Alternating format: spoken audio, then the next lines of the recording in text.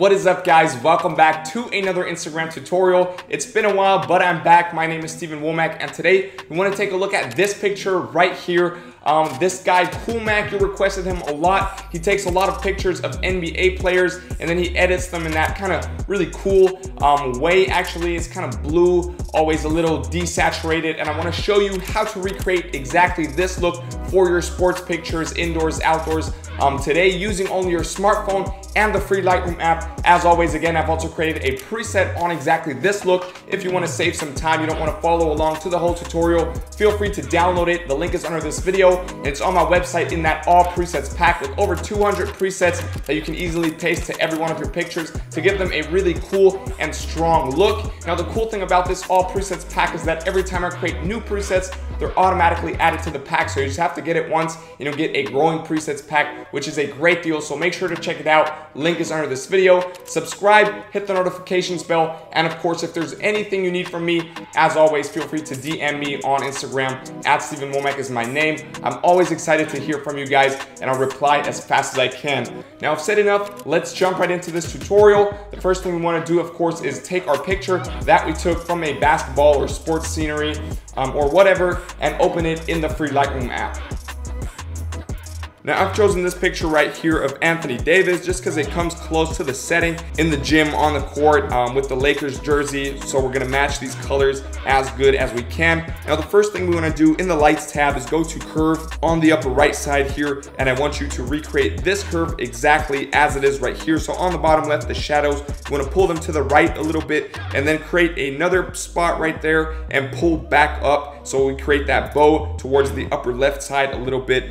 And then once you've copied this curve exactly as it is right here, we're done. Next thing we wanna do is just boost up the exposure a little bit to around plus 0.4 right there. The contrast, we wanna pull that down to negative 21 right there. The highlights, boost them up to plus 34 or 35 and the shadows we want to pull them down to around negative 18 or 19 the whites we want to boost up again to plus 56 right there and the blacks we're to pull down just a little bit to around negative 20 this is perfect. We go over to the colors tab here. What you want to do is just pull down the temperature a little bit to negative 12 to give it that cool vibe and then the tint we want to pull that down a little bit as well to negative 4 the vibrance we want to boost up to plus 23 right there and the saturation down to negative 20. Now we already have this really cold look.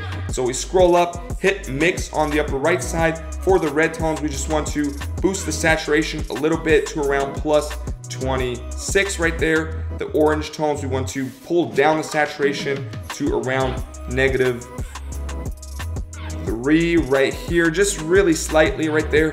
And then the luminance, we want to pull down all the way to negative 56 right there. This is really gonna affect the skin tone. It's gonna make it a little darker, which is what we want here. For the yellows, we want to boost up the saturation to plus 47 right there to give that jersey that yellow back. The green and aqua tones we're not going to change, but the blue tones here, we want to pull down the hue to around negative 22 right there. Pull down the saturation to negative 39 right there. And then we want to boost up the luminance all the way to plus 54 right there. Then we are done with the mix. We go to grading on top here. For the shadows, we want to boost the hue to 275 and the saturation up a little bit to around 25 right there.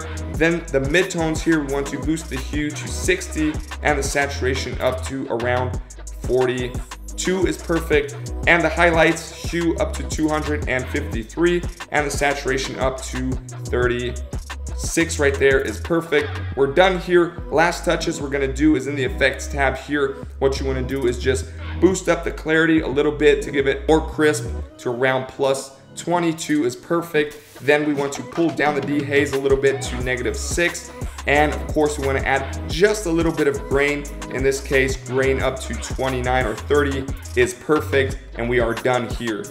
And this is it, guys. Here's a before and after, and I think we came super close to that um, signature KoolMac look that you guys requested a lot. Keep in mind, we're only using our smartphone and the free Lightroom app. He's using professional cameras, um, probably Photoshop to edit these pictures. So I think it's really cool how close we came to his actual look. Once again, keep in mind, I've created a preset on exactly this look that we did today, this KoolMac inspired look. If you want to save some time, feel free to download the preset. Link is under this video. It's the all presets pack with over 200 presets.